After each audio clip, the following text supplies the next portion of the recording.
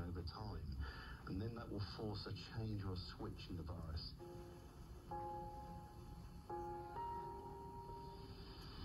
We've just arrived in Windsor, where sadly there are three close to the weir.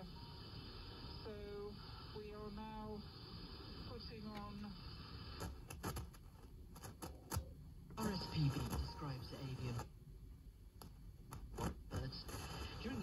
season, seabirds were particularly badly affected, and wildlife rescue groups have been busy. Wendy Hermon from Swan Support. Littering.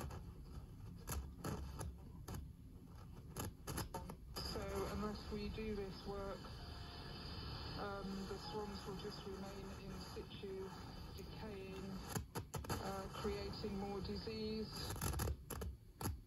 so becoming a horrible for members of the public.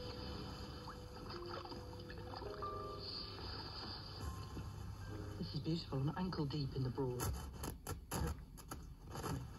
Dipping and ducking and diving. Um, alongside me is Ben Kirby from the RSPCA. Um, this is lovely.